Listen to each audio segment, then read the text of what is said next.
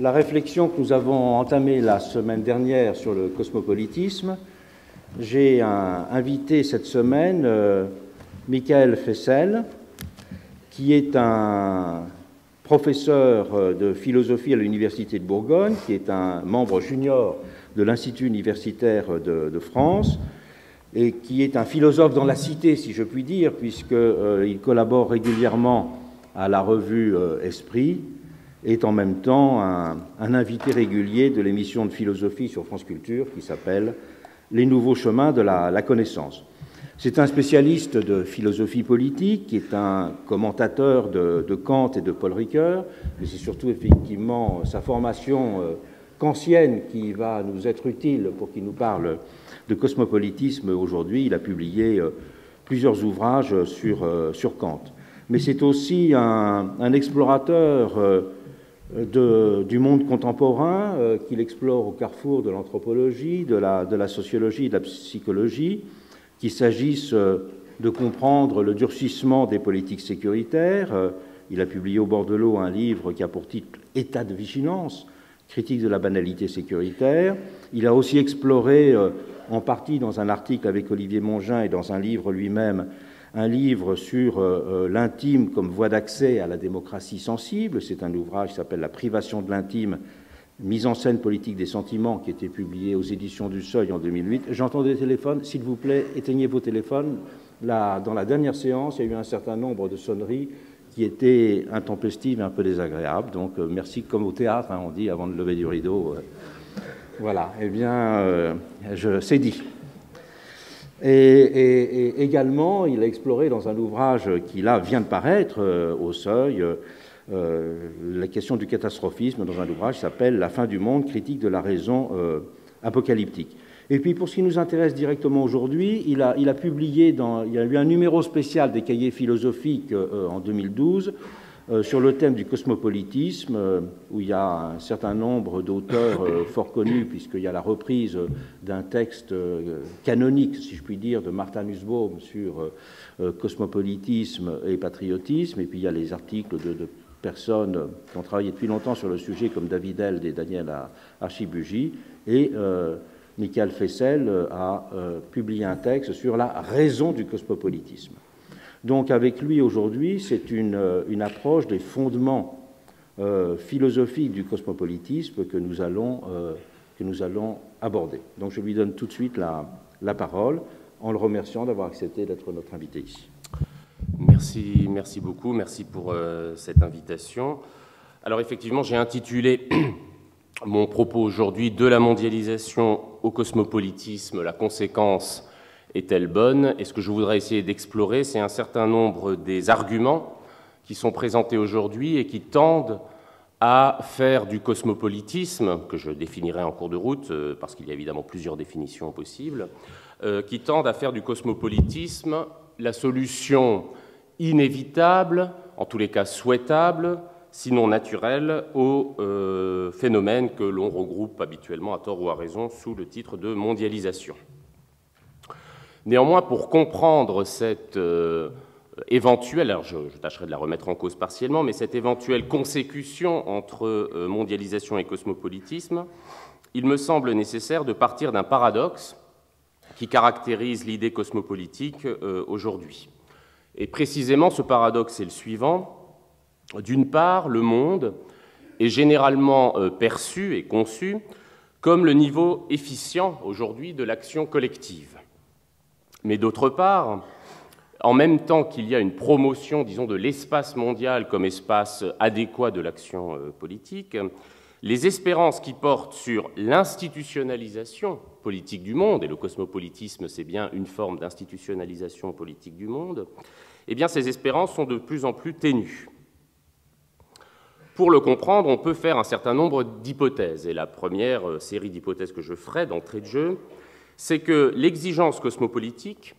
reposait, disons au moins depuis euh, le XVIIIe siècle, là où elle trouve une relance justement chez Kant, j'y viens dans un instant, cette exigence reposait sur une série d'implications qui semblent avoir été remises en cause au cours des dernières décennies. Première implication moderne euh, relativement au cosmopolitisme, la thèse selon laquelle la généralisation du commerce, en un sens économique mais pas seulement, la généralisation du commerce devrait mener naturellement à une pacification des relations euh, sociales et aussi à une euh, généralisation de l'état de droit. Or, on remarque que depuis quelques décennies, cette généralisation, qu'on peut appeler, si l'on veut, néolibérale, j'y reviendrai aussi, cette généralisation du commerce mène beaucoup plus certainement à une concurrence des systèmes juridiques euh, nationaux ou culturels qu'à une mondialisation, une uniformisation, une généralisation de l'état de droit. Deuxième type de consécution euh, qui a, sinon disparu, du moins s'est affaibli récemment, loin d'instaurer la paix, l'instauration ou l'émergence d'institutions internationales au pouvoir renforcé a parfois, voire souvent, favorisé les guerres. Or, là, c'est un lien typiquement euh, moderne euh, entre cosmopolitisme et paix. L'idée que le cosmopolitisme est le garant de la paix était euh, centrale, j'y reviendrai dans un instant, chez Kant. Troisième et dernière forme de consécution qui semble être déjouée par l'histoire récente, l'affaiblissement des souverainetés étatiques tant sur un plan strictement politique que sur le plan du pouvoir économique, ne paraît pas mener à l'effacement des égoïsmes nationaux. Tous ces éléments expliquent pourquoi, selon moi, le, cosmopolitisme pardon, ne semble plus tant être l'horizon de l'histoire, comme il a pu l'être euh, au moins euh, au XVIIIe siècle, mais il se présente de plus en plus souvent comme une utopie historique dont finalement la mondialisation ne garantirait nullement l'efficience. D'ailleurs, j'indique d'emblée que ce qui peut expliquer cette euh, manque d'attractivité, cette baisse euh, de l'idéal cosmopolitique, c'est largement l'affaiblissement des théories de l'histoire dont le cosmopolitisme était solidaire depuis le XVIIIe siècle.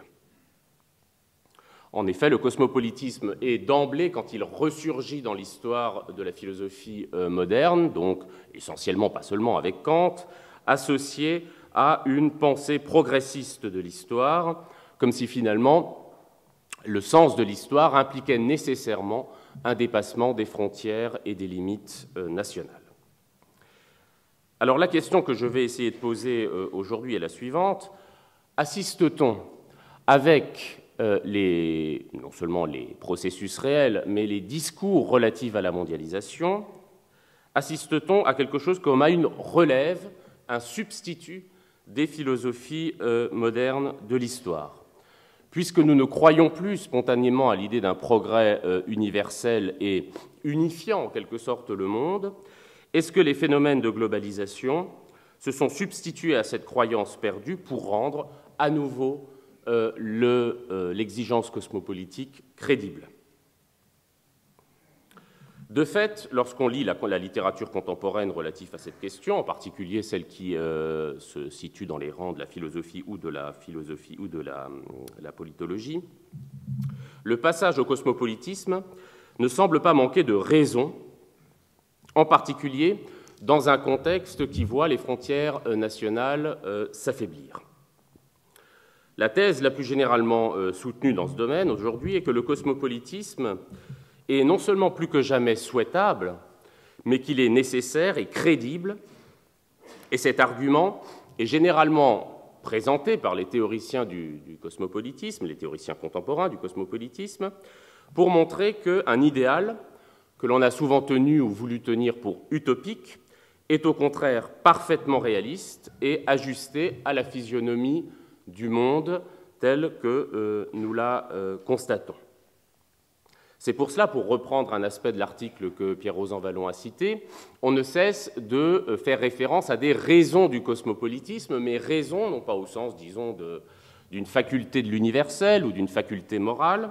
mais des raisons au sens de motifs, de ressorts, comme si la mondialisation devait constituer le ressort principal de l'exigence cosmopolitique euh, contemporaine. Ce qui apparaît aujourd'hui euh, crédible, c'est que les obstacles historiques qui, tout au long du XIXe et, a fortiori, je dirais, du XXe, ont euh, constitué un empêchement à la mise en place d'institutions cosmopolitiques, ces obstacles sont affaiblis ou sur le point même de disparaître. Alors dans cet exposé, j'essaierai de restituer la logique de ces arguments qui visent donc à rendre réaliste ou crédible cette euh, exigence cosmopolitique, à montrer leurs limites de ces arguments et, en toute fin de parcours, à indiquer ce qui me semble être euh, plus euh, fondamental que ces ressorts automatiques, en quelque sorte, du cosmopolitisme, c'est-à-dire une pensée, et si possible une pratique, de ce que peut véritablement, de ce que pourrait véritablement être une citoyenneté cosmopolitique dans le cadre euh, d'un contexte de mondialisation. En effet, je l'indique d'emblée,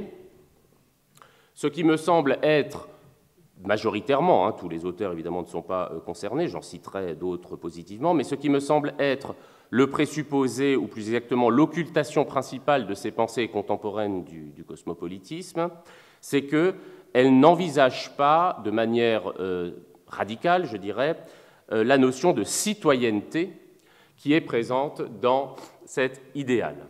Le cosmopolitisme tend de plus en plus, me semble-t-il, non seulement d'ailleurs dans les discours qui portent sur lui, mais aussi dans un certain nombre de pratiques institutionnelles qui se réclament de lui, le cosmopolitisme s'apparente de plus en plus à euh, l'édification d'institutions transnationales Transnational, je l'indique tout de suite, est un terme qui, sauf erreur de ma part, a été forgé par Raymond Aron. Il appelait transnational l'ensemble des relations ou des institutions qui euh, ne se laissent pas réduire, ni évidemment aux relations dans un cadre national entre le citoyen et l'État, ni les relations internationales, c'est-à-dire les relations entre États, mais l'ensemble des, relations juridiques, enfin déjà réelles et euh, amenées à devenir juridiques, entre soit euh, des individus et les États sur le sol duquel ils se trouvent, donc entre les étrangers euh, l'État sur lequel, le sol national sur lequel ils se trouvent, soit l'ensemble des organisations associatives ou non gouvernementales dont le but, dont la, sphère d'action dépasse donc les limites des frontières nationales. Il est évident que le cosmopolitisme, s'il a une spécificité, enfin il est évident en tous les cas, ça me paraît évident, que le cosmopolitisme, s'il a une spécificité, c'est de porter précisément d'abord sur ce type de relation transnationale, c'est-à-dire d'être, et là j'en viens à Kant, d'être une sorte de troisième niveau du droit par rapport au niveau traditionnel, enfin traditionnellement en tout cas dans le droit moderne euh, reconnu, enfin déjà dans le droit romain. Ce n'est pas le droit évidemment étatique, le droit donc euh, d'une nation. Ce n'est pas le droit interétatique qui régit donc les rapports entre les puissances, mais c'est, je reprends ce que Kant en dit dans, le projet de paix perpétuelle de 1795, c'est l'ensemble des relations qui échappent à ces deux euh, catégories et au centre du droit des citoyens du monde, parce qu'en réalité ce qu'on traduit par droit cosmopolitique chez Kant, c'est droit des citoyens du monde, ce qui est au centre de ces, des préoccupations de Kant, c'est la position de l'étranger. Ce pourquoi pour Kant d'ailleurs, le droit cosmopolitique, son contenu cette fois-ci, le contenu du droit cosmopolitique, c'est du droit donc du citoyen du monde, c'est le euh, droit de euh, l'étranger à être, c'est le terme qu'emploie Kant, reçu sous les catégories ou sous la catégorie de l'hospitalité par euh, l'État sur lequel, ou le sol national dans lequel il se rend. J'indique tout de suite, alors d'abord pourquoi est-ce que je vais faire un petit développement sur Kant? Premièrement, avant de préciser un peu ce que je viens de dire, premièrement parce que dans la tradition kantienne, ouverte par Kant, qui est celui qui relance le projet cosmopolitique au XVIIIe siècle, dans la tradition ouverte par Kant, on retrouve ces deux formes de légitimation du cosmopolitisme dont traite mon exposé, d'une part, il insiste sur ce qui rend le cosmopolitisme nécessaire, inéluctable en quelque sorte, donc euh, qui fait du cosmopolitisme tout autre chose qu'une utopie, une véritable exigence réaliste. Simplement, il se réfère, lui, puisque nous sommes au XVIIIe siècle, à une théorie de l'histoire pour montrer, je le dis de manière extrêmement rapide, que la multiplication indéfinie des guerres, c'est ce qu'il explique en particulier dans le projet de paix perpétuelle, la multiplication indéfinie des guerres amènera de manière quasiment providentielle les euh, peuples à désirer euh, la paix, et pour désirer, qui veut la fin veut les moyens, pour désirer la paix, a désiré donc l'institution d'une, alors non pas d'un État mondial, mais en tous les cas d'une fédération d'États qui garantiront donc le caractère pacifique des relations internationale. Autrement dit, il y a déjà chez Kant quelque chose qu'on va retrouver dans la théorie contemporaine, à savoir, mais cette fois-ci non plus sur la philosophie de l'histoire, mais appliquée à la mondialisation, l'idée d'une consécution quasiment naturelle, quasiment inévitable, en faveur du cosmopolitisme du fait d'une évolution euh, réelle. Mais on trouve aussi chez Kant ce qui me paraît être la face un petit peu, euh, sinon oubliée, du moins occultée, euh, des arguments en faveur du cosmopolitisme, à savoir que le cosmopolitisme n'est pas seulement le sens de l'histoire, où il n'est pas non plus, dirait-on aujourd'hui, la conséquence inévitable et souhaitable de la mondialisation, le cosmopolitisme est avant toute chose, alors un idéal, il ne faut pas l'entendre au sens euh, péjoratif du terme, de la raison humaine. Ce qui me paraît euh, toujours valable dans la perspective ouverte par Kant, ce n'est pas tant la manière dont il fonde cette exigence de cosmopolitisme, il la fonde sur l'universalité de la raison, de manière qui n'est pas en soi d'ailleurs extrêmement euh, originale. Euh, ce qui me paraît en revanche pertinent, c'est qu'il pense le cosmopolitisme comme une catégorie du droit public,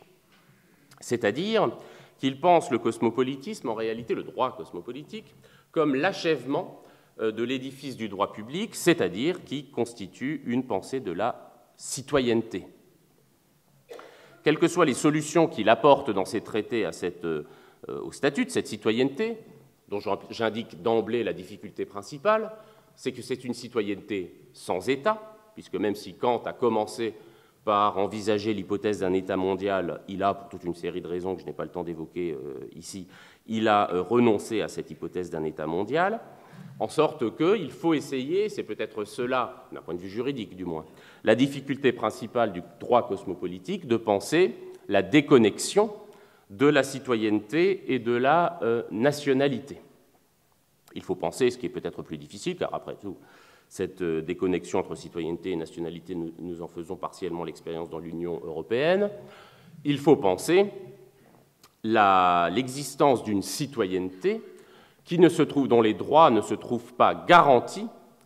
par euh, un État. Il faut donc trouver une forme institutionnelle qui est, euh, d'une certaine manière, adéquate au respect euh, des droits des citoyens du monde, mais qui en même temps n'altère pas de manière significative, en tous les cas, la souveraineté des États nationaux. Donc on retrouve chez Kant ces deux éléments et c'est sur le premier dont je ne parle, enfin le second, celui que je viens d'indiquer, dont je parlerai peu, puisque mon propos consistera à interroger le cosmopolitisme contemporain depuis depuis ce qu'il met en avant, c'est-à-dire plutôt l'idée en revanche qu'il y a une nécessité ou un caractère euh, euh, immanent en quelque sorte du cosmopolitisme à la mondialisation. Euh, c'est ce deuxième aspect qui me paraît très important et un peu oublié aujourd'hui.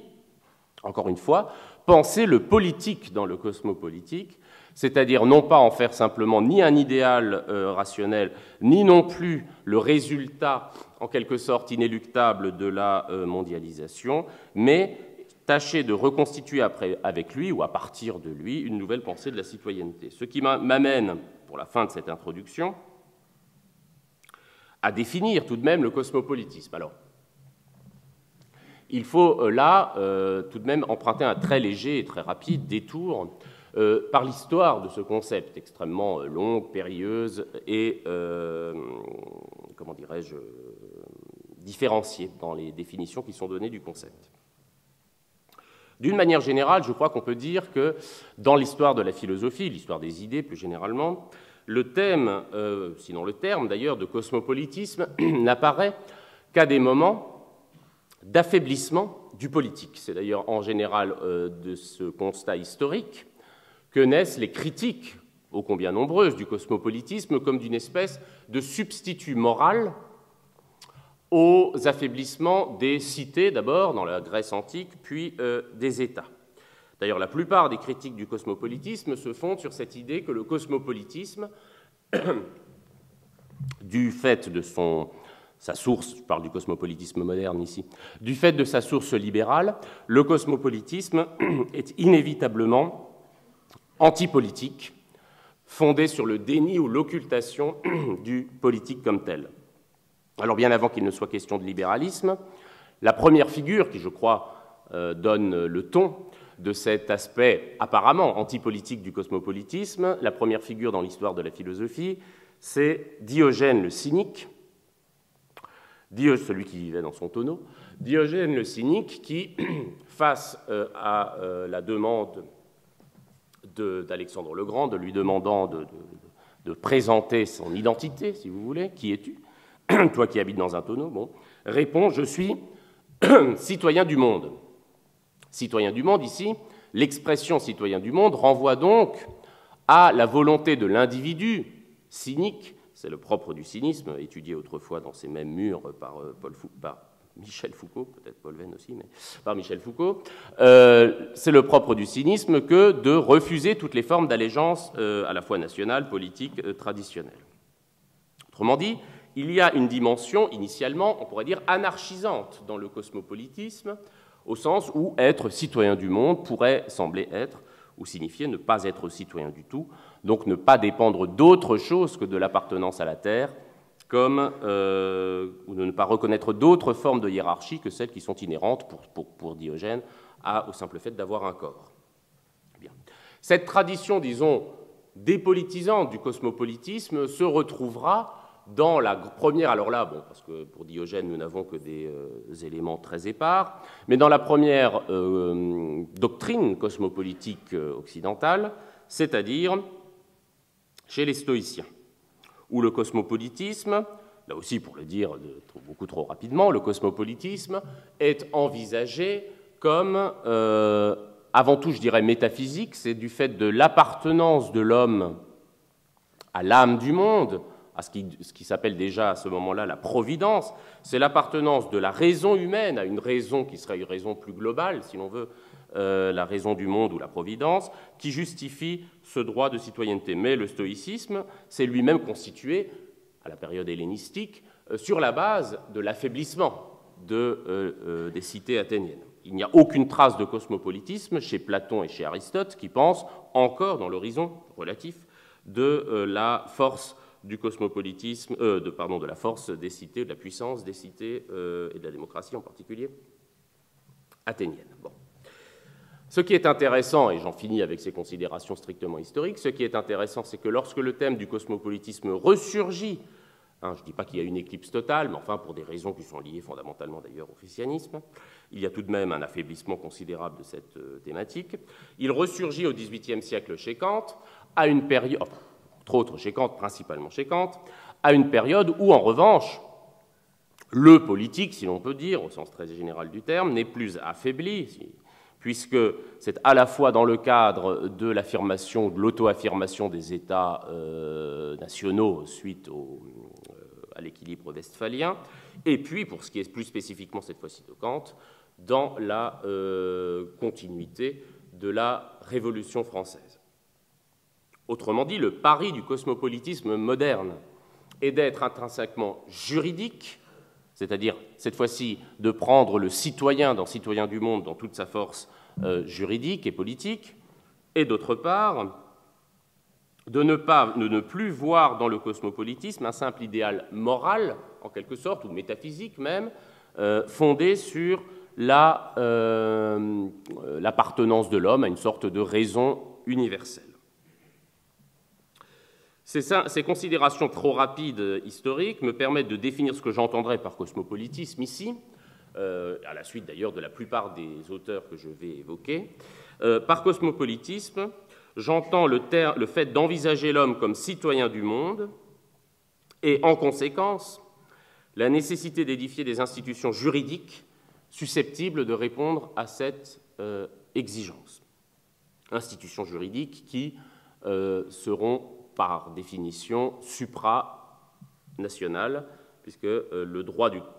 citoyen du monde ne peuvent pas être euh, simplement des droits de euh, nationalité. Le point, le point central de cette définition très générale, c'est qu'elle situe le cosmopolitisme au niveau des individus, donc des citoyens du monde ici, et non pas d'abord au niveau des États. Pour le dire de manière plus classique, le cosmopolitisme, et c'est comme cela qu'il est abordé la plupart du temps dans les théories euh, contemporaines, est abordé comme un droit subjectif et non pas comme une simple dimension du droit euh, international.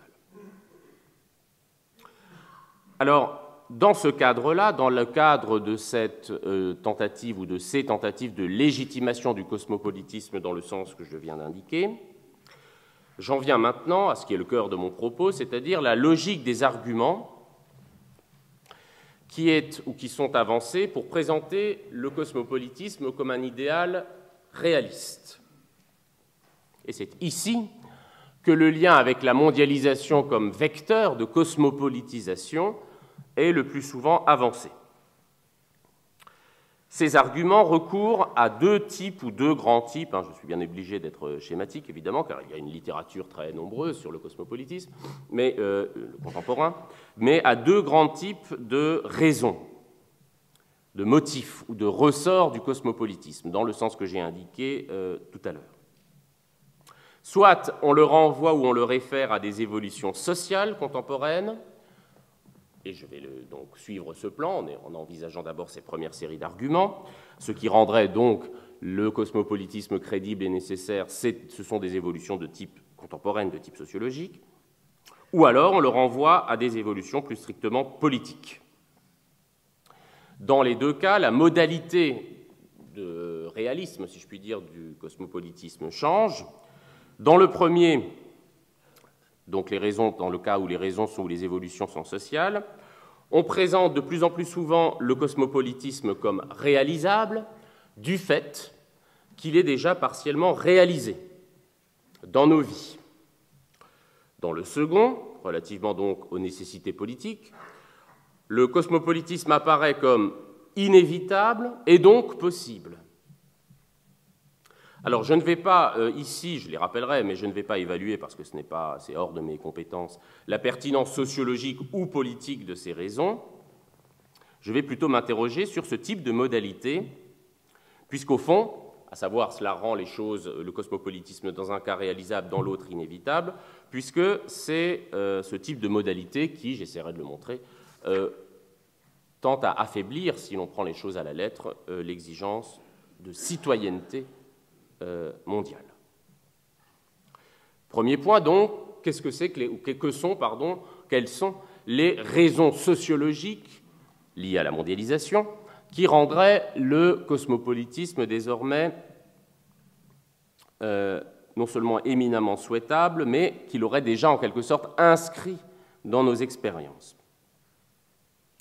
Les éléments euh, généraux qui rendent ou qui devraient euh, concourir au réinvestissement de l'idéal cosmopolitique sont connus. La globalisation des échanges marchands, la multiplication des démocraties, d'abord des États, puis des démocraties dans le monde, l'apparition historique d'institutions supranationales, essentiellement dans le domaine économique, Banque mondiale, FMI, mais pas seulement, Union européenne, c'est évidemment très central,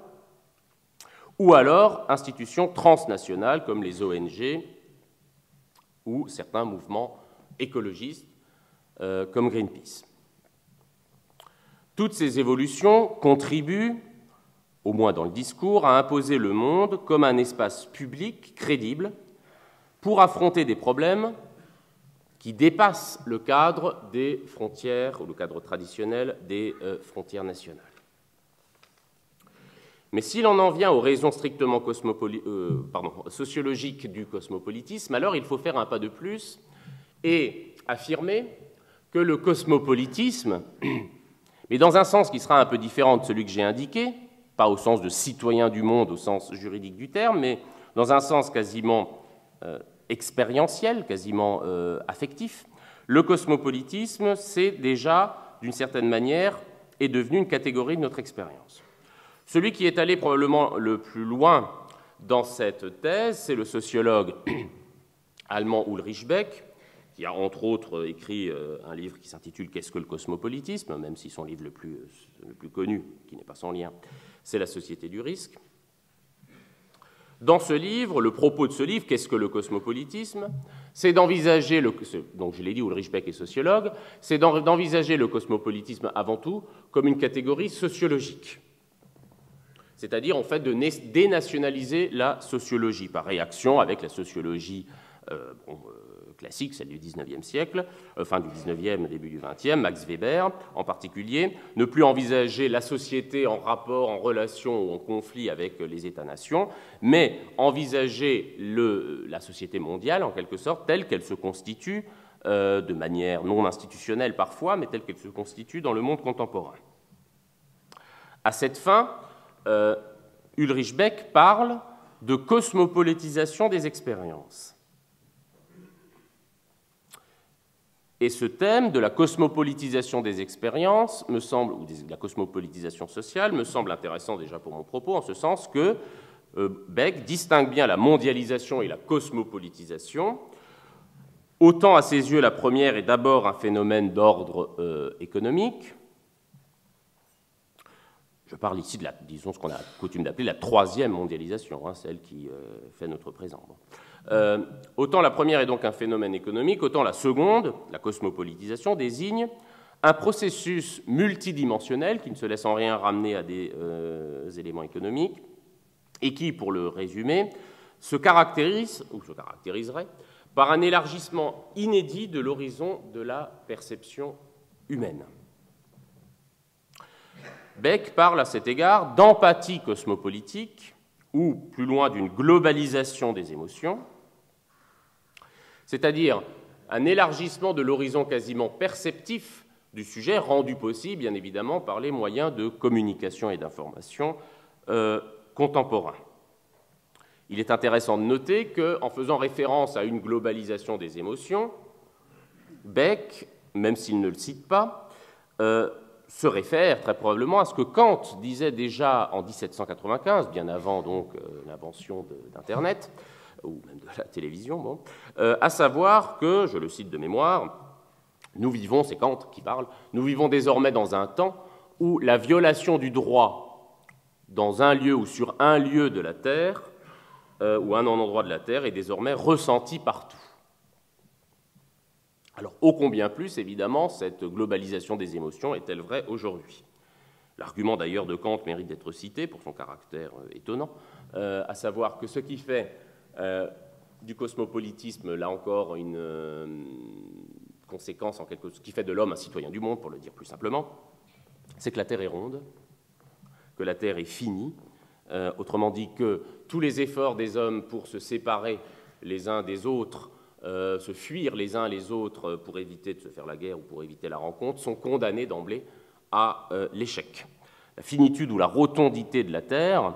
est donc, d'une certaine manière, euh, le symbole réel euh, de la nécessité pour les hommes euh, de, juridiciser, comme on dirait aujourd'hui, leurs relations, puisqu'il est impossible, encore une fois, il leur est impossible, ou il est impossible à l'espèce humaine de se,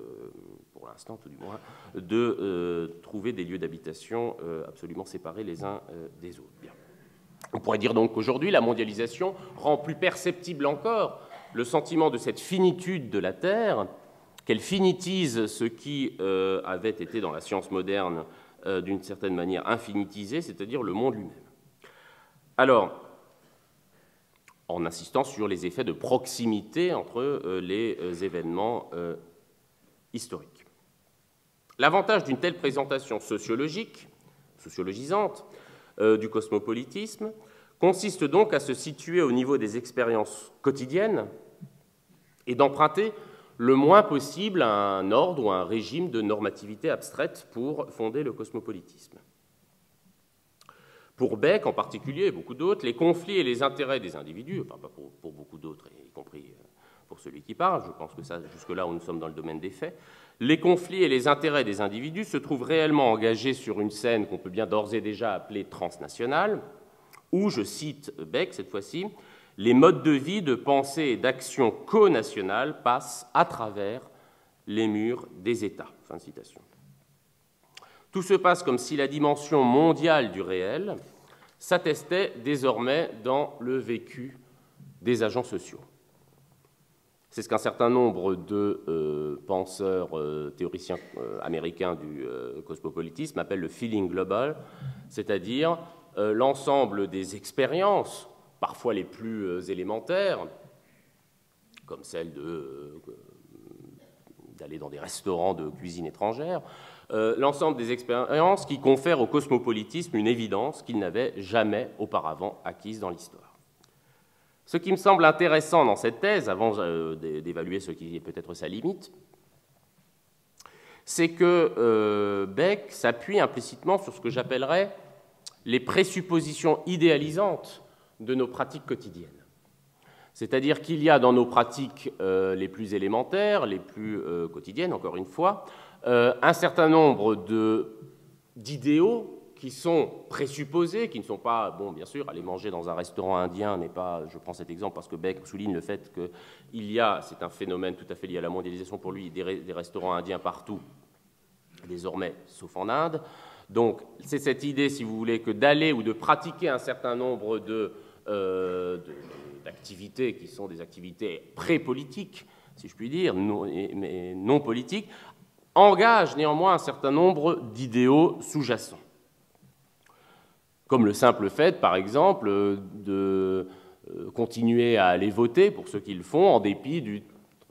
travail de sape que peuvent faire certains nombre de politologues qui expliquent que tout est déterminé, rationnel. L'idée que notre vote va tout de même compter en dépit de ce qui, euh, euh, des discours qui sont portés sur eux, ou de l'analyse qui en est faite, ou des convictions politiques des individus, viendrait démentir ce fait. Alors, autre aspect positif ou intéressant, en tous les cas, dans cet abord du cosmopolitisme par la cosmopolitisation, c'est qu'il résout un des grands problèmes du cosmopolitisme moderne, en tous les cas, qui est celui justement, que j'ai déjà évoqué, de la forme institutionnelle qu'il faut lui donner au cosmopolitisme. Déjà chez Kant, on trouvait une série d'alternatives. Faut-il un État mondial, un gouvernement mondial faut-il penser un État fédératif ou faut-il euh, se contenter d'une fédération euh, d'États? Comment débats institutionnels qui, bien évidemment, ont été au cœur de la mise en place d'abord de la Société des Nations, puis euh, de l'Organisation des, Nations Unies.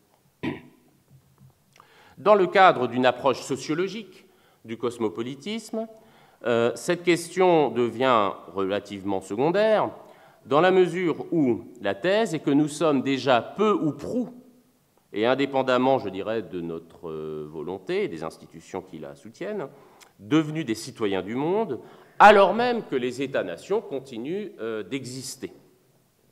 Autrement dit, la cosmopolitisation des expériences fait que le cosmopolitisme cesse d'être contraire aux appartenances euh, nationales relatives plus qu'une alternative au système westphalien et à ses implications culturelles en particulier, il fonctionne comme un, c'est comme ça qu'il est avancé dans la littérature contemporaine, comme un principe de pluralisation des identités. C'est d'ailleurs aussi ce qui indique, ce qui est peut-être la limite de cette euh, perspective, c'est qu'elle est, est fondamentalement culturelle avant d'être politique. C'est-à-dire que le cosmopolitisme euh, sociologique, si je peux l'appeler comme ça, insiste sur un élément qui est certes central dans toutes les théories cosmopolitiques, à savoir l'idée d'une pluralité des allégeances culturelles. Mais évidemment, cette pluralité des, allégeances culturelles, rien ne garantit, rien n'indique qu'elle trouvera en quelque sorte naturellement sa voix dans un cosmopolitisme de type institutionnel. Après tout, le risque de la pluralité, c'est non moins la guerre que euh, la pacification. Donc toute la question ici du cosmopolitisme sociologique, si encore une fois je peux l'appeler comme cela, c'est comment passer, bon, question, euh, je dirais, classique et massive, comment passer d'une réalité culturelle à son institutionnalisation politique. Beck définit la cosmopolitisation dont j'ai parlé comme, je le cite, un processus non linéaire, dialectique, dans lequel l'universel et le contextuel,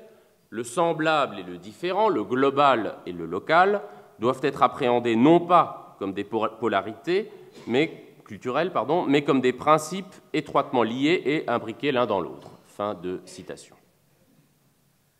Il reconnaît donc par là que nous sommes face à, un, avec la mondialisation, euh, en particulier celle ici des informations et des techniques, nous sommes face à une série de processus dont rien n'indique par avance, puisqu'ils ne sont plus soutenus par une philosophie de l'histoire, dont rien n'indique par avance quelle sera la euh, direction. Dans cet argument, donc, le cosmopolitisme est déjà à l'œuvre, d'une certaine manière, mais ce n'est pas un cosmopolitisme juridique, mais beaucoup plus un cosmopolitisme, je dirais, euh, d'éthos, éthique au sens premier du terme, c'est-à-dire au sens d'une forme de vie. Du point de vue de la sociologie de Beck, et il a parfaitement raison, cela implique une réécriture de la grammaire sociale des expériences qui adopterait désormais une scène mondiale comme référent possible de euh, ces expériences. Scène mondiale qui est très largement virtuelle, puisque fondée soit sur des informations désormais euh, quelque sorte accessibles en temps réel, soit, je reviendrai sur ce point dans un instant, sur l'apparition de sentiments de type humanitaire beaucoup plus euh, développés.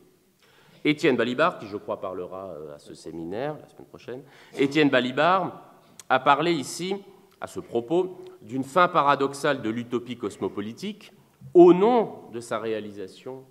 au moins partielle. C'est-à-dire que l'utopie cesserait d'être une utopie, euh, le cosmopolitisme cesserait d'être une utopie à partir du moment où, euh, non pas on déclarerait qu'il est réaliste euh, de manière un peu sommaire, mais où on déclarerait qu'il est réalisé, ou partiellement réalisé. Et de fait, Balibar a tout à fait raison de dire, je ne peux pas rentrer dans les détails parce que c'est des problèmes de doctrine ici qui n'ont pas, pas le lieu, mais il, est il, est, il est notable qu'au fur et à mesure que dans le discours, je dirais, alors plutôt ou sociologique ou dans le discours même euh, politique au sens euh, générique du terme, au fur et à mesure que cette espèce de, que les discussions sur la mondialisation, sur la fluidification des expériences, sur le fait que nous vivons dans des réseaux, qu'il n'y a plus de frontières, etc., se multiplient dans le domaine strict de la philosophie politique, euh, l'exigence cosmopolitique est défendue de moins en moins souvent, ou lorsqu'elle l'est, c'est avec euh, beaucoup de euh, prudence. Et c'est bien ce que suggère Balibar lorsqu'il dit, au fond, que le cosmopolitisme comme idéal, hein, parce qu'il parle d'utopie, mais ici même d'idéal, d'exigence euh, strictement juridique, s'affaiblit du fait même que l'on consacre sa réalisation partielle. J'en verrai un exemple tout à l'heure quand je parlerai d'Habermas. Mais l'intérêt néanmoins de cette conception sociologique, c'est qu'elle insiste sur le cosmopolitisme comme une sorte de processus de subjectivation éthique, et, euh, pardon, où quotidiennement, en quelque sorte, nous transgressons les frontières. Hein. L'image la plus souvent citée, c'est celle euh, d'Internet, euh, où nous, en quelque sorte, nous ne sommes plus dépendants dans notre imaginaire, en quelque sorte, nous ne sommes plus dépendants des frontières du simple fait de pouvoir les transgresser sans avoir même à nous euh, déplacer. On pourrait dire que les expériences cosmopolitiques aujourd'hui ne nécessitent plus, comme c'était le cas évidemment encore au XVIIIe siècle, un grand thème du cosmopolitisme du XVIIIe siècle, le voyage réel. Nous pouvons avoir des expériences cosmopolitiques sédentaires, puisque désormais les individus sont pris euh, dans des interactions qui dépassent de très loin euh, leur sphère d'appartenance géographique et même culturelle.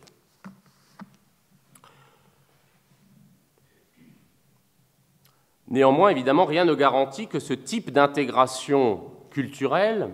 et sociale participe de ce qu'on pourrait appeler une cosmopolitisation heureuse des euh, expériences. Que ce processus de cosmopolitisation ne soit pas linéaire, qu'il puisse même être violent et conflictuel, est reconnu par les défenseurs du cosmopolitisme sociologique, y compris par Beck. C'est pourquoi d'ailleurs, et cela, indique la deuxième partie que je vais développer dans quelques instants, euh, cette position, la position, disons, d'une cosmopolitisation euh, par la mondialisation, sociale par la mondialisation, demeure normative au sens où, pour éviter que ce cosmopolitisme des faits, si je puis dire, cette cosmopolitisation factuelle, ne dégénère en appartenance négative au monde, par exemple en, antagonisme communautaire qui serait délocalisé, Eh bien, pour l'éviter, il faut bien imaginer des modalités institutionnelles et désormais politiques qui garantissent juridiquement cet, euh, cet idéal. On retrouverait, je, je, ne peux que l'évoquer, ce même décalage entre une cosmopolitisation de fait et puis un déficit du point de vue euh, juridique ou du point de vue institutionnel dans toute la littérature autour de euh, ce qu'on appelle la société civile mondiale, c'est-à-dire l'apparition non plus cette fois-ci simplement au niveau individuel d'une série d'expériences du monde, par le fait que le lointain est rendu plus proche par toute une série euh, d'instruments, mais la constitution infra-étatique, en quelque sorte, d'une société civile mondiale, mais évidemment reste entier le problème de son institutionnalisation. Pour Habermas, qui a beaucoup insisté, qui est le, probablement le plus grand euh, théoricien actuellement euh, en vie, enfin chez les philosophes en tous les cas, euh, du cosmopolitisme, Habermas s'est beaucoup appuyé sur la constitution d'une société civile mondiale, mais l'idée de pourquoi parler de société civile mondiale et pas d'État mondial, c'est là encore pour éviter le problème qui est en fait la croix des cosmopolitistes, c'est-à-dire l'institution supraétatique ou, ou l'État mondial qui la, qui l'apporterait, c'est pour, pour pouvoir repérer dans le réel politique contemporain, en l'occurrence, déjà des formes de cosmopolitisation à l'œuvre. Euh, et évidemment, euh, Habermas a tout à fait raison, me semble-t-il, de s'appuyer dans sa défense du cosmopolitisme, puisqu'il est l'un de ses défenseurs de plus en plus rares d'ailleurs, euh, dans sa défense de s'appuyer sur l'émergence de ce qu'il appelle une société civile mobilisée à l'échelle mondiale c'est-à-dire en réalité d'une avance de la société civile par rapport aux institutions euh, politiques stricto sensu,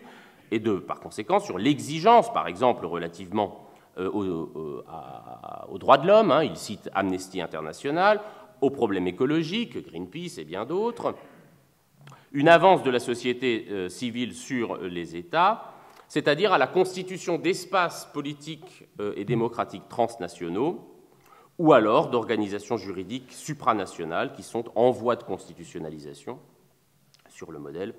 euh, euh, euh, du tribunal pénal international.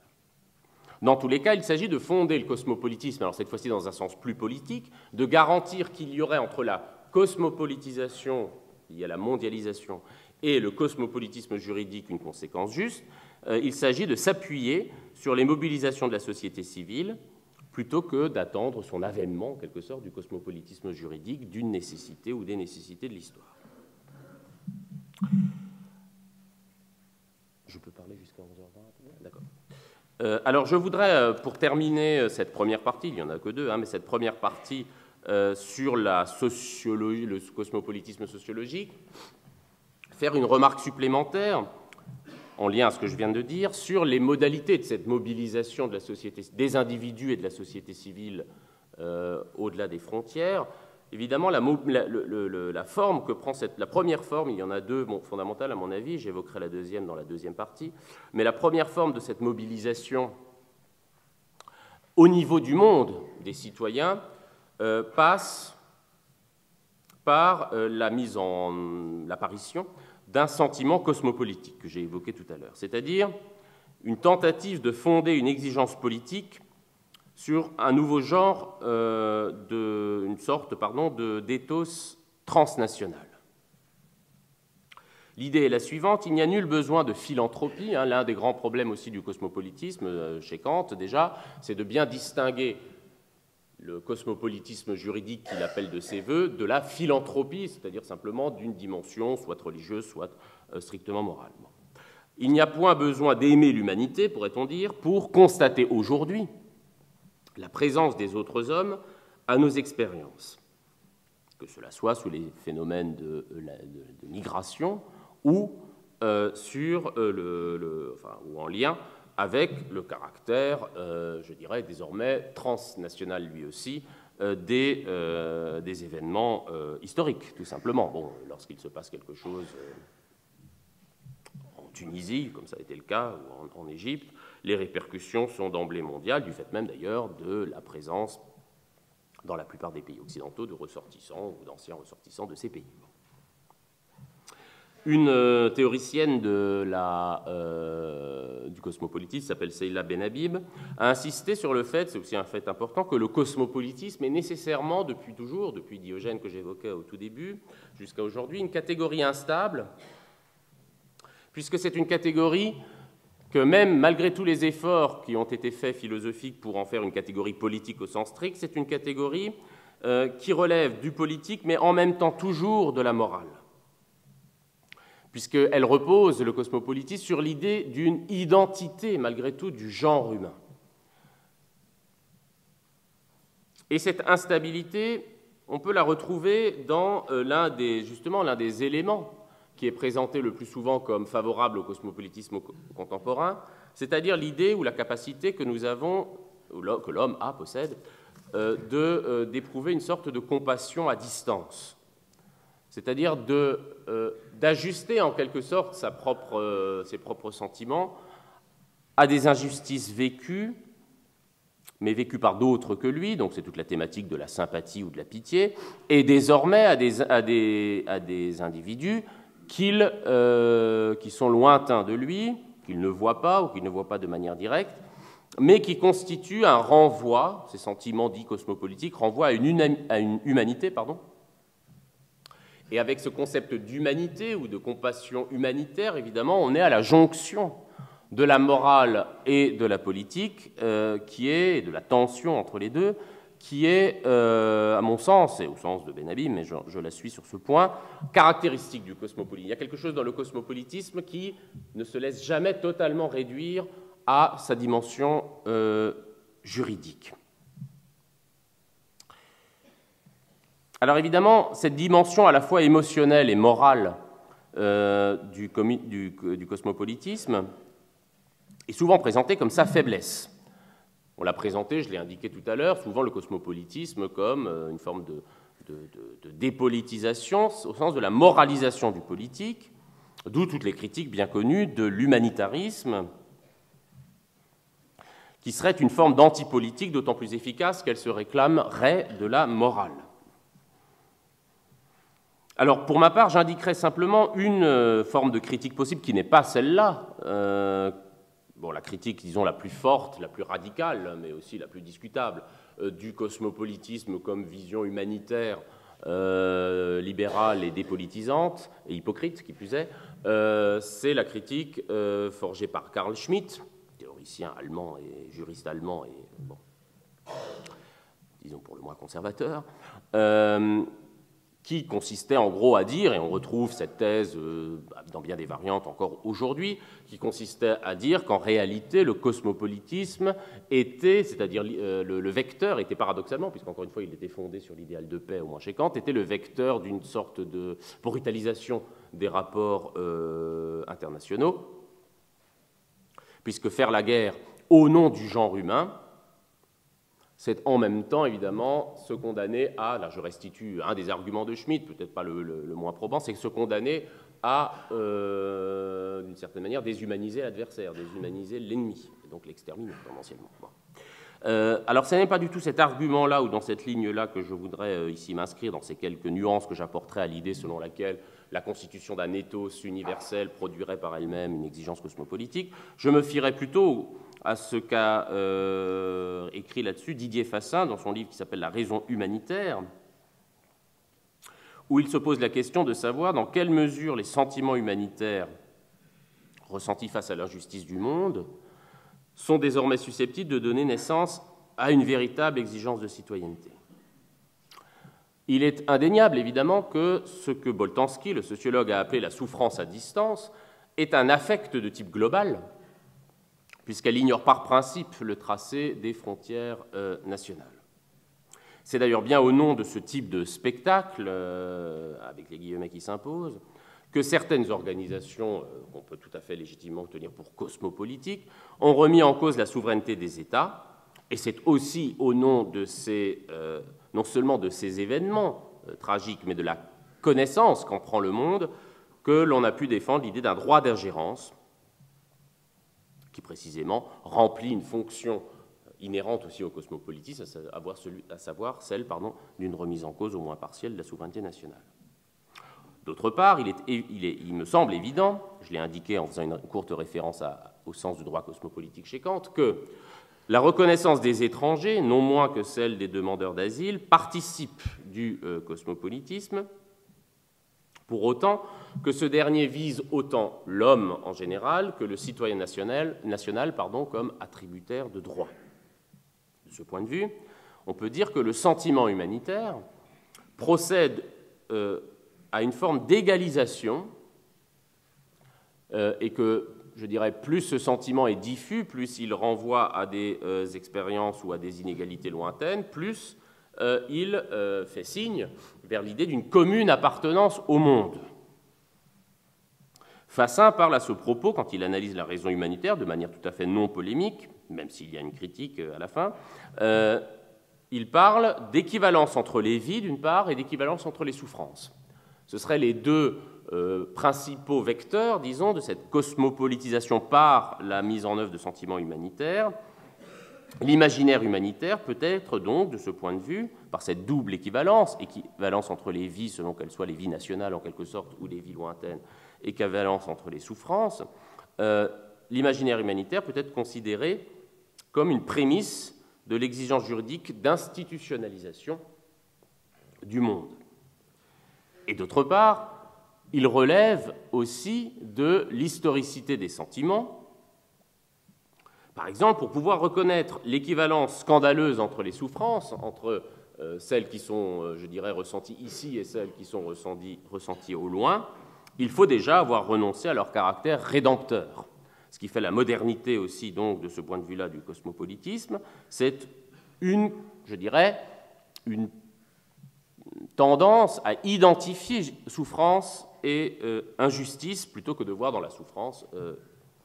quelque sorte, un laisser-passer vers euh, le salut.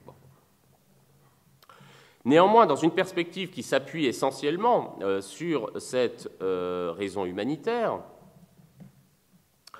il y a un problème qui est toujours le même, je dirais, c'est celui, alors si je reprends là les catégories de Boltanski, de la superposition entre ce que Boltanski appelle la cité de l'humain, ou de l'amour, c'est-à-dire euh, la manière de constituer un espace commun tendanciellement mondial sur, euh, simplement euh, sur des affects, et puis la cité de la justice. Comment, en d'autres termes, traduire institutionnellement, ou même d'ailleurs par une action politique quelconque, la compassion que l'on peut ressentir à l'égard d'un drame qui se produirait à l'autre bout du monde. Fassin parle à cet égard, pour montrer euh, les limites peut-être de cette euh, raison humanitaire, il emploie ce terme un peu barbare, de bio-légitimité, montrant que les politiques euh, humanitaires pardon,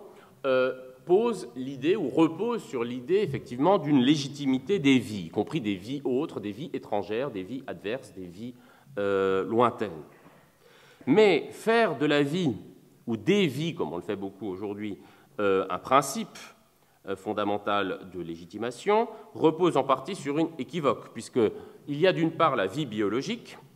et d'autre part la vie biographique. Alors quel est le rapport avec le cosmopolitisme? Eh bien, Fassin indique, je crois de manière convaincante, que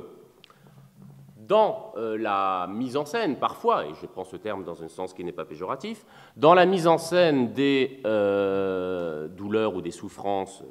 transnationales, si je puis dire, on parle parfois d'une préservation de la vie biologique lorsqu'il s'agit de masses déshéritées et lointaines, dont il s'agit simplement de garantir le sauvetage, la survie, quand on face à des phénomènes de famine en particulier ou de massacre. D'autre part, on valorise cette fois-ci la vie biographique des individus qui sont moins lointains et auxquels on reconnaît en quelque sorte un droit au récit. On peut distinguer, je crois aujourd'hui, entre deux modalités de la euh, raison compassionnelle ou de la raison humanitaire.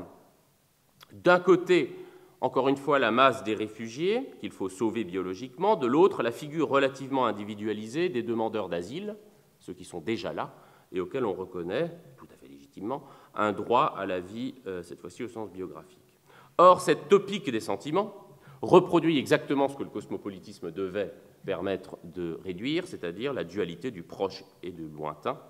de celui qui est parvenu jusqu'à nous et de celui qui est demeuré ou, ou qui demeure sur les lieux du désastre. Il y a donc tout de même une forme d'inégalité inhérente à la forme, à la raison compassionnelle, inégalité qui n'est pas euh, en elle-même rédhibitoire, qui est structurelle, euh, qui est fondée sur l'espace et qui n'est, me semble-t-il, que l'expression seconde de l'inégalité qui caractérise le lien compassionnel entre celui qui souffre et celui qui ne souffre pas. En sorte que les limites, je dis bien les limites, pas le caractère euh, inefficient d'une politique humanitaire, sont, à mon sens, avant tout liées au concept de justice sur lequel euh, repose cette politique et qui demeure fondamentalement instable. Le sentiment cosmopolitique, celui que je peux éprouver comme citoyen face à une euh, catastrophe, par exemple, et aux douleurs qu'elle implique à l'autre bout du monde, mais et c'est sa positivité pour le cosmopolitisme, met en scène pardon, un conflit de loyauté chez le spectateur. Il faut que ce dernier, celui qui voit, parvienne à relativiser son attachement à sa communauté ou à son État pour parvenir à la certitude d'appartenir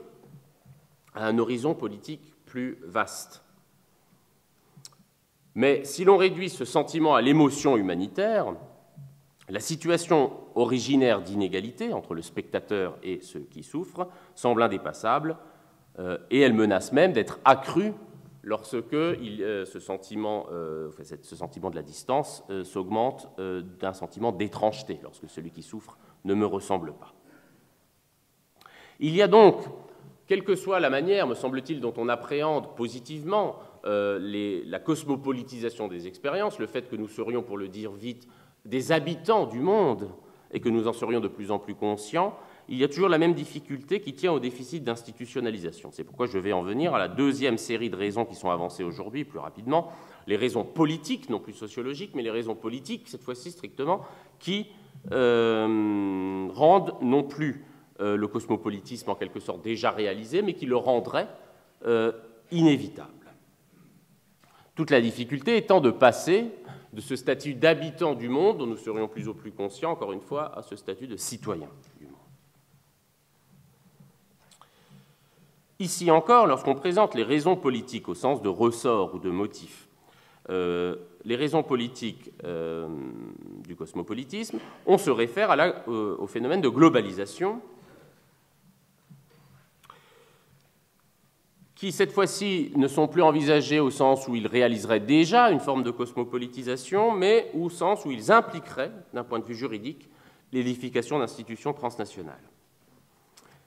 Il s'agit encore, comme dans les raisons sociologiques, de faire jouer les contraintes du réel sur un idéal qui est trop souvent jugé utopique, inaccessible, euh, voire euh, insensé,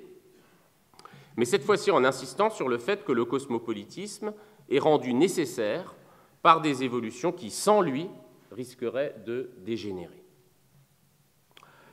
C'est ce que David Held, un des grands théoriciens, ou des plus importants théoriciens du, cosmopolitisme, appelle la constitution, je le cite, d'un ordre global démocratique. Le, présupposé étant que nous sommes déjà dans un ordre global et que par conséquent, euh, notre, notre, enfin notre celle des citoyens et des gouvernants, euh, la, finalité est de le démocratiser. Tous les arguments qui vont dans, le sens de cette existence d'un ordre global euh, effectif, du point de vue politique, sont connus, et ils reposent tous sur le décalage, disons, pour le dire très vite, entre le système stato-national hérité du monde euh, westphalien, d'une part, et d'autre part, ce qu'on pourrait appeler la dynamique des droits celle des mutations économiques et celle des enjeux géopolitiques. Autrement dit, il y aurait un décalage entre euh, les restes du monde westphalien qui continuent, au moins formellement, à constituer les bases du système juridique international, mais avec beaucoup d'évolutions, enfin, euh, et puis euh, ce qui constitue une dynamique irréversible d'exigences juridiques, économiques ou de sécurité, et qui, sont qui seraient, par principe, euh, au système national. Sur la dynamique des droits, je n'en parlerai pas, puisque là aussi, je crois, Catherine Colliot-Hélène viendra parler ici, et elle a travaillé sur cette question de savoir, au fond, comment on pouvait analyser la dynamique des demandes de droits, y compris de droits sociaux, de telle sorte que, d'emblée, elles impliquent des institutions euh, transnationales. Autrement dit que, pour prendre un exemple qui est euh, un exemple courant, puisque tous les citoyens européens peuvent désormais faire appel au-delà de la, euh, je pense, c'est la Cour de cassation pour ce qui est la plus grande, la, cour la plus haute en France, au-delà des cours donc nationales au Conseil européen des droits de l'homme, euh, à la Cour pardon, européenne des droits de l'homme, c'est-à-dire la possibilité pour, c'est un des phénomènes, disons, typiques de cette capacité euh, des droits, euh, cette exigence des droits subjectifs à se voir, et là on est en plein dans le cosmopolitisme juridique, dans la reconnaissance d'être citoyen du monde, enfin ici citoyen d'un espace transnational, l'Europe, cette capacité de d'exiger une, juridiction transnationale pardon, qu'elle vienne suppléer à ce que l'on juge être les incompétences ou les insuffisances d'une juridiction nationale. Mais évidemment, l'argument qui est le plus souvent présenté, c'est celui des transformations du capitalisme euh, contemporain lors de ces trois dernières décennies, qui rendrait nécessaire l'édification d'un cosmopolitisme capable de répondre aux défis lancés par, euh, disons, le triomphe global du marché dans sa vision ou dans sa version euh, néolibéral. Ici, et contrairement à ce qui se passait pour les raisons dites sociologiques, la question de la nature institutionnelle du cosmopolitisme, sous quelle forme doit-il s'institutionnaliser, devient centrale. Puisque le, constat qui donne son point de départ à ce genre d'analyse, c'est la question du statut plus ou moins résiduel de l'État-nation, euh, qui fournit le critère de distinction entre les versions juridiques euh, du cosmopolitisme. Vous avez aujourd'hui toute une série de palettes, de positions, euh, alors qui vont, disons, de ce qu'on appelle la démocratie cosmopolitique, ceux qui défendent la démocratie cosmopolitique, comme David Held, archibougie que vous avez euh, cité, euh, c'est-à-dire qui, sans vouloir nécessairement un gouvernement mondial, pose la question démocratique, cette fois-ci, au niveau des institutions internationales ou transnationales. Donc ils veulent faire du monde une démocratie, pour le dire peut-être plus simplement. Et puis des positions qu'on appelle, bon, ce sont des terminologies anglo-saxonnes, le libéralisme national à l'autre côté du prisme. Je, des, ne parle que de ceux qui ont un intérêt au cosmopolitisme, pas ceux qui en, euh, ceux qui en sont les adversaires résolus. Euh, le libéralisme national, bon, dont la figure la plus connue est, John Rawls, euh, qui pense que néanmoins le terreau du droit ou des droits politiques demeure et demeurera euh, nationale. Mais je ne rentre pas dans ces débats parce que je m'intéresse encore à la logique, encore une fois, à la logique des arguments. La raison déterminante qui incite à penser, encore une fois, que les évolutions politiques, non plus sociologiques, euh, sont favorables au cosmopolitique, c'est la suivante. Nous convenons généralement aujourd'hui de l'idée selon laquelle la maîtrise politique des effets irrationnels de la globalisation implique d'imaginer de nouvelles institutions mais des institutions qui se situent précisément au, niveau des effets de la mondialisation, au niveau des effets de la globalisation, bref, des institutions cosmopolitiques. Cet argument est assez proche de celui qu'avançait déjà Rousseau, lorsque Rousseau constatait qu'il y a un paradoxe qui traverse le droit international, en quelque sorte, puisque nous, nous vivons déjà, donc au XVIIIe siècle, une situation internationale déjà socialisée, c'est-à-dire où il y a déjà des rapports entre les États, mais non encore politisés, puisque ces rapports entre les États sont laissés à l'initiative des souverains et se traduisent généralement, ou souvent en tous les cas, se traduisaient souvent par la guerre.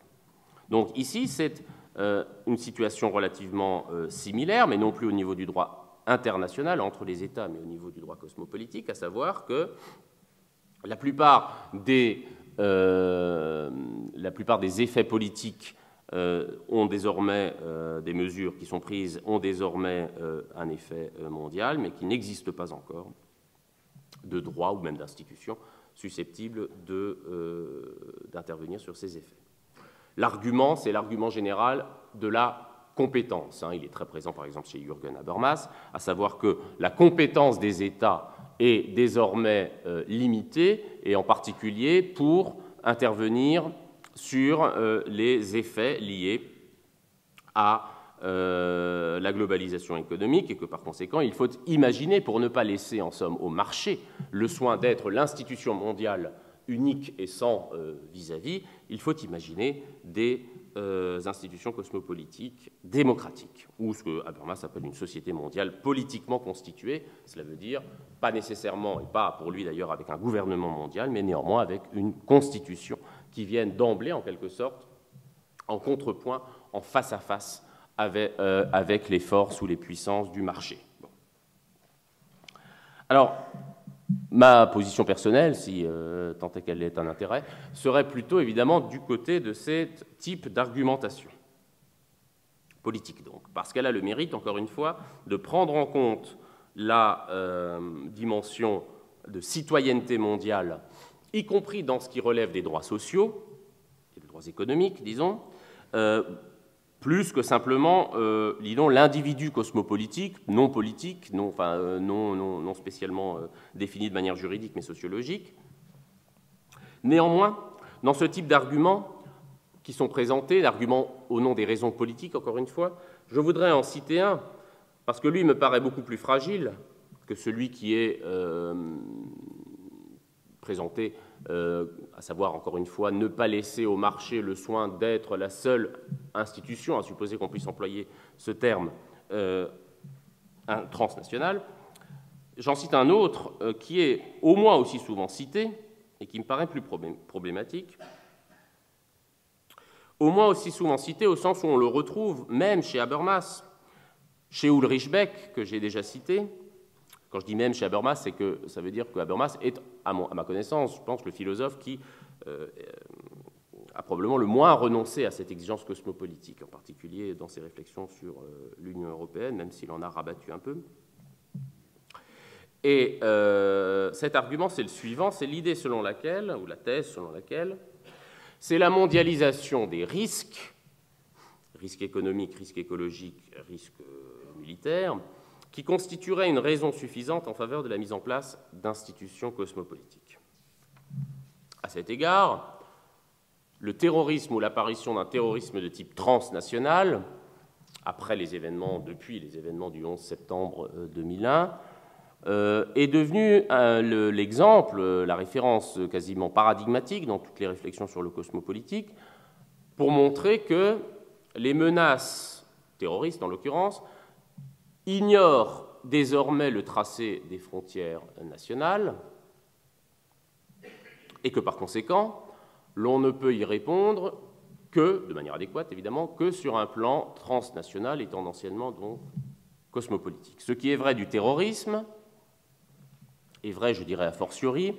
des crises environnementales, climatiques, sanitaires et militaires, en tout cas si l'on pense au nucléaire. Tous ces phénomènes militent donc, ce qui est certainement vrai, militent en faveur d'abandon de souveraineté, de délégation de pouvoir, mais aussi d'ailleurs de délégation d'expertise relativement aux dangers que littéralement euh, ces euh, éléments, ces crises font peser sur le monde. La prise de conscience de l'unité du monde et de sa singularité, je veux dire du fait qu'il n'y en a qu'un et qu'il est l'horizon de notre vivre ensemble, comme on dit, euh, cette prise en compte, cette prise de conscience est évidemment accrue ou facilitée, accrue ou rendue plus urgente par euh, l'existence de tous ces dangers euh, ou de ce qu'on appelle le risque global. S'impose donc l'idée que le cosmopolitisme, ne pouvant s'imposer pour des raisons, disons, liées à l'attachement des États-nations à leur souveraineté et des peuples parfois à leur souveraineté, ne pouvant s'imposer par des voies politiques et juridiques, enfin par les voies juridiques démocratiques, stricto sensu, il pourrait s'imposer par la conscience de plus en plus aiguë du caractère fragile du monde. C'est cette idée, si vous voulez, que, assez présente dans toute une série de discours, pas seulement cosmopolitiques, que le monde, pour renverser un peu la célèbre affirmation de Marx, le monde n'est pas ce que nous devons enfin cesser d'interpréter mais transformer, mais nous avons trop essayé de transformer le monde, nous devons désormais essayer de le préserver, et c'est pour préserver ce monde des menaces que j'ai indiquées euh, qu'il faudrait euh, penser et instaurer des institutions de type transnational. C'est l'argument que j'appellerais l'argument, bon, dans un premier temps de manière non péjorative, sécuritaire, qui donne une image assez convaincante de ce que l'appartenance à un même monde signifie politiquement. Habermas écrit dans un texte qui s'appelle La paix perpétuelle, qui est un hommage après le bicentenaire justement du texte La paix perpétuelle que j'ai déjà évoqué de Kant, il écrit, je le cite, Il faut miser sur le fait que la globalisation des risques a uni le monde, objectivement uni le monde, pour en faire une communauté involontaire fondée sur les risques encourus par tous. Dans cette citation, ce qui est important, c'est, me semble-t-il, une communauté involontaire. Autrement dit, il ne faut plus attendre du cosmopolitisme, le cosmopolitisme, pardon, d'une structure contractualiste, attendre que les États ou même les peuples euh, décident de s'associer entre eux, mais d'une association en quelque sorte euh, contrainte par les évolutions du présent. Beck, de son côté, lui, parle de risques civilisationnels globaux, fin de citation, et ces, risques civilisationnels globaux remplissent effectivement deux préalables du cosmopolitisme. Premièrement, la certitude partagée qu'il n'y a qu'un seul monde, et deuxièmement,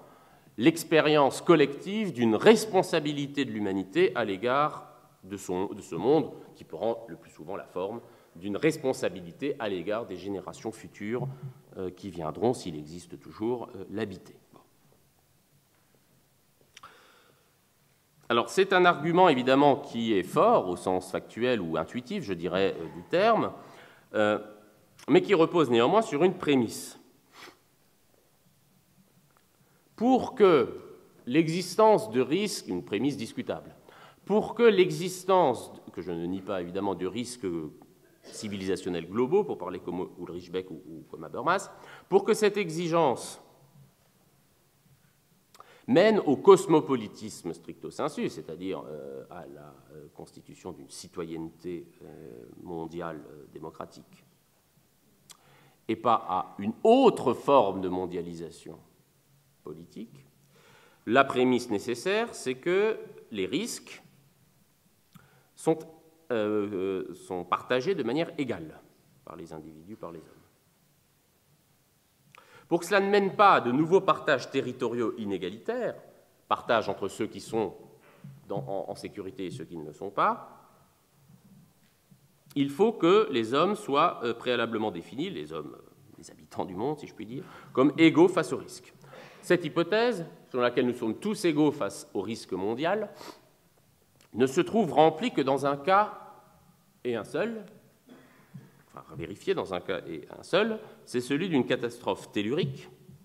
ce qui explique que, paradoxalement, pour justifier le cosmopolitisme, on fasse de plus en plus référence à la fin du monde ou à une catastrophe apocalyptique, puisque dans ce cas-là, euh, effectivement, nous sommes a priori euh, tous égaux comme nous sommes égaux face à la mort. Mais dans tous les autres cas, qui sont tout de même les plus nombreux et les plus prévisibles, euh, de risques globaux, certes, qui ne respectent pas les euh, frontières, disons, pour le dire, euh, enfin, qui, qui, franchissent les frontières, alors il est tout à fait envisageable, et de fait, on peut poser l'hypothèse que c'est ce qui se passe, que, en réalité, l'insistance sur les risques globaux, loin d'affaiblir simplement les souverainetés nationales, tend à reconfigurer des espaces de territorialisation, selon qu'on est du bon côté, si je puis dire, de la globalisation ou du mauvais. Bref, qu'elle ne mène pas automatiquement, ni même tendanciellement, à l'édification d'institutions cosmopolitiques. Je dirais que ce type d'argument par le risque global repose sur une, pas exactement une confusion, mais on pourrait presque dire une confusion métonymique, au sens où on prend la partie pour le tout, confusion en tous les cas entre transnational et cosmopolitique. Effectivement, ces risques sont transnationaux, ne, ne, concerne pas euh, ni des États ni un groupe d'États entre eux, mais, risque sanitaire par exemple, un virus, bon, bien, euh, mais rien n'implique qu'entre le transnational, pardon, qui est peut-être le nom pour notre présent, et le cosmopolitique, la conséquence soit bonne et automatique. J'en veux pour euh, exemple, bon, je ne vais pas non plus parler encore très longtemps, mais pour exemple, un fait, un fait géopolitique si l'on peut dire, euh, qui me paraît être révélateur des évolutions transnationales mais non cosmopolitiques, qui est l'édification de plus en plus euh, souvent, enfin de plus en plus euh, courante, par, souvent d'ailleurs par des démocraties, de murs. Les plus célèbres étant le mur qui sépare les États-Unis du Mexique, le mur entre Israël et la Palestine, mais il y en a beaucoup d'autres, des moins connus. Euh, et on projette d'en construire entre euh, la Grèce et la Turquie, etc. Sans parler des murs internes aux États-nations, comme les murs qui séparent désormais euh, aux États-Unis ce qu'on appelle les gated communities, c'est-à-dire les, ghettos pour riches. Alors pourquoi je prends cet exemple des murs? Parce qu'il a été fort bien analysé par une politiste américaine qui s'appelle Wendy Brown, qui euh, a montré que ces murs ont une spécificité euh, au sens où ils se distinguent des frontières traditionnelles. Et c'est sans quoi, d'ailleurs, ils participent euh, l'édification paradoxalement, de l'édification d'un espace transnational. Il ne faut pas voir, en effet, dans ces murs, une évolution sécuritaire simplement fondée sur la réaffirmation de la souveraineté des États pour la raison d'ailleurs que ces murs se situent à l'intérieur des frontières parfois d'un même État, ou alors pour mettre en quelque sorte euh, les, euh, des groupes d'États à l'abri de, euh, de dangers que je vais caractériser dans un instant. Pour Wendy Brown, ces murs sont plutôt, je la cite, les icônes de l'érosion de la souveraineté. Fin de citation. Autrement dit, ces murs, par différence avec les frontières traditionnelles, disons nationales, ces murs non pas pour but de garantir la sécurité d'un État face à d'autres États, pas même pour, but de garantir ou d'affirmer sa puissance, pardon, dans le but d'éviter la guerre, précisément parce que ces murs sont destinés à euh, se protéger d'une menace transnationale, puisque cette menace prend non plus tant la figure du soldat, que la figure d'individus nomades, sans patrie réelle, sans papier, euh, émigrés clandestins, ou indésirables pardon, sur tous les sols. Ces murs, dont je ne veux pas non plus faire le symbole de la politique internationale, loin de là, mais me permettent d'insister sur l'équivoque de ce terme de transnational, justement. Les murs, ces murs n'entourent pas des réalités, n'entourent plus des réalités au sens strict nationale. On pourrait plutôt dire qu'avec ces constructions, les États font paraître la différence entre ce qu'on pourrait appeler une mondialisation heureuse, de plus en plus souvent celle des pays capitalistes avancés, même si euh, il n'est pas heureuse pour tous, loin de là, et une mondialisation du désastre. Bien évidemment, la crise économique n'a pas affecté ce régime de euh, séparation. Ces frontières, si on tient à, garantir ce terme, à conserver ce terme pour qualifier ces murs, ces frontières ne sont pas parfaitement étanches et elles ne désignent pas non plus la fracture entre deux entités politiques indépendantes. Si les murs sont parfaitement conciliables avec la globalisation économique, avec l'insistance sur les réseaux, sur les flux, c'est parce qu'ils ne refoulent pas les étrangers en général, mais ceux de ces étrangers, généralement les pauvres, qui sont considérés comme euh, dangereux pour euh, le, territoire, puisque l'État d'ailleurs, euh, puisque c'est parfois un groupe d'États, le territoire, ou même infra-étatique, le territoire qui est visé. Autrement dit, plutôt que de réaffirmer les souverainetés étatiques, les murs sont bien des institutions ou des configurations transnationales. Ce sont des vestiges prémodernes dans une modernité où le pouvoir fonctionne en réseau, de plus en plus sous forme virtuelle, microphysique, liquide. D'ailleurs, la plupart de ces murs, ou un grand nombre de ces murs, ne sont pas tant matériels que fondés sur euh, l'informatique et la biométrie.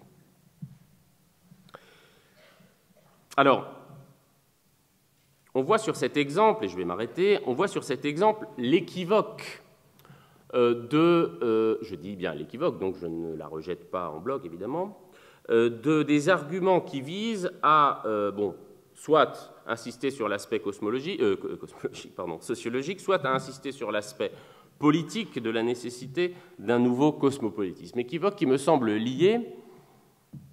à un déficit, souvent, évidemment pas chez Habermas que j'ai cité, mais chez beaucoup d'autres théoriciens, et puis dans le discours public, de réflexion sur ce que signifie fondamentalement citoyenneté euh, cosmopolitique. Cette citoyenneté, Kant en avait euh, tracé euh, le modèle en parlant, je l'ai dit au début de cet exposé, de euh, la nécessité de penser un droit d'hospitalité, le droit d'hospitalité dont peut se réclamer l'étranger, qui arrive sur un sol national. Ce droit d'hospitalité ne doit pas du tout s'entendre au sens, disons, ni d'un tourisme, ni d'un droit d'installation pour Kant, mais au sens strictement juridique. C'est le droit qu'a tout homme qui se retrouve sur un sol, quelle que soit la nationalité de ce sol, le, droit qu'a tout homme d'entrer dans une relation juridique avec l'institution qui euh, préside, si je puis dire, ou souveraine sur ce sol. Donc le droit d'hospitalité, c'est le droit à être reconnu comme euh, individu doué de caractéristiques juridiques. Concrètement, cela veut dire, si on veut prendre même au sens déjà de Kant, que ce n'est pas la justice administrative qui doit ou qui a la charge des immigrés clandestins ou des sans-papiers, mais euh, la justice euh, civile, si je puis dire, bon, euh, qu'autrement dit, il doit y avoir les mêmes procédures d'appel pour cet individu que pour un national. En ce sens, le droit cosmopolitique n'est pas tant un droit que l'on peut formaliser de manière précise que ce qui renvoie, la formule est d'Arendt, au droit d'avoir des droits c'est-à-dire un droit qui porte non pas tant sur euh, euh, des prestations euh, déterminées que sur la capacité de tout sujet en tant que citoyen du monde à acquérir des droits, donc à pouvoir les demander et à pouvoir,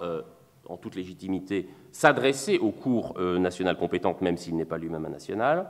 C'est donc plutôt de l'ordre du fondement du droit, enfin c'est comme cela en tout cas, bon je ne peux plus évidemment le montrer maintenant, mais c'est au sens du fondement du droit qu'il faut, le, faut le penser, comme une sorte, je dirais, d'équivalent, le droit du citoyen du monde, comme une forte sorte d'équivalent, mais institutionnel, politique, constitutionnel même, de ce qu'on a à coutume d'appeler les droits de l'homme, et que l'on considère généralement comme subjectifs, pré-politiques, comme n'étant pas liés à une forme déterminée d'institution. Le droit d'avoir des droits, le droit d'acquérir euh, des droits, est un droit qui, peut-être relève des droits de l'homme, mais du droit cosmopolitique au sens où il peut être garanti par euh, des moyens constitutionnels. Mais mon propos aujourd'hui n'était pas de développer ce point, mais de montrer comment, ou pourquoi, enfin d'essayer de montrer pourquoi euh, cette question, disons, du fondement du, du, droit cosmopolitique et dans l'acquisition de droits n'est plus tellement posée aujourd'hui du fait du recours à des arguments qui visent à légitimer le cosmopolitisme, non plus à partir d'une conception juridique fondamentale de l'homme, disons, pour dire les choses euh, généralement, mais à partir des évolutions du présent. Tout comme autrefois la philosophie de l'histoire venait en quelque sorte en renfort des exigences que les penseurs du XVIIIe siècle mettaient dans les droits de l'homme, aujourd'hui, la physionomie de la mondialisation, que j'ai essayé de retracer ici à travers un certain nombre d'arguments, tente effectivement à faire du niveau transnational le niveau efficient de l'action politique. Mais encore une fois, il ne me semble pas légitime, par là, de euh, considérer que le problème de la légitimation du cosmopolitisme, de ce qui le rend donc exigible d'un point de vue politique, soit réglé. Mon propos était donc de réouvrir ce que je pourrais appeler le conflit, ce que j'appellerais le conflit des légitimations montrer qu'on ne peut peut-être pas en rester à une légitimation par le fait, par l'évolution, surtout que le fait est lié à l'interprétation, et d'autre part par le fait que, ou du fait que les événements ou les évolutions contemporaines, rien ne garantit dans ces évolutions, j'ai essayé de le montrer, qu'elles euh, tentent à favoriser un cosmopolitisme euh, démocratique. Il y a deux tendances fondamentales, à mon sens, qu'il faut combattre théoriquement deux tendances fondamentales qui consistent à refermer ce conflit des légitimations, c'est-à-dire à le refermer en le ramenant à un mode et un mode unique de légitimation, le modèle néolibéral économique, que j'ai à peine évoqué, mais qui était un peu à l'arrière-plan de mon exposé, en ce sens que, de fait, le marché constitue avec son ordre, ses hiérarchies, ses exigences, sa rationalité, enfin, ou son irrationalité, selon qu'on jugera, euh, une forme d'institution euh, mondiale, d'ores et déjà, L'autre tendance à refermer euh, le conflit des légitimations au profit d'un processus qui serait apparemment nécessaire, c'est l'ordre du sécuritaire, c'est-à-dire de tout ce qui va dans le sens, disons, d'une nécessité de fonder euh, désormais le politique sur la préservation, la précaution par rapport euh, au risque. Or, s'il y a un intérêt à la fois théorique, mais aussi politique dans le cosmopolitisme, c'est précisément, me semble-t-il, il réside précisément, me semble-t-il, dans l'exigence de trouver des formes de légitimation de l'action politique qui ne se situent ni au niveau, ou qui ne se laissent réduire ni au niveau euh, de, de, l'économie et de ses évolutions, ni euh, du point de vue de l'exigence sécuritaire euh, elle-même. Le citoyen du monde, pour le dire autrement, c'est donc celui qu'il faut peut-être essayer de promouvoir, de penser, c'est celui qui ne se laisse ramener ni à l'homo economicus, ni à l'individu hanté par ses peurs. Je vous remercie. Merci beaucoup.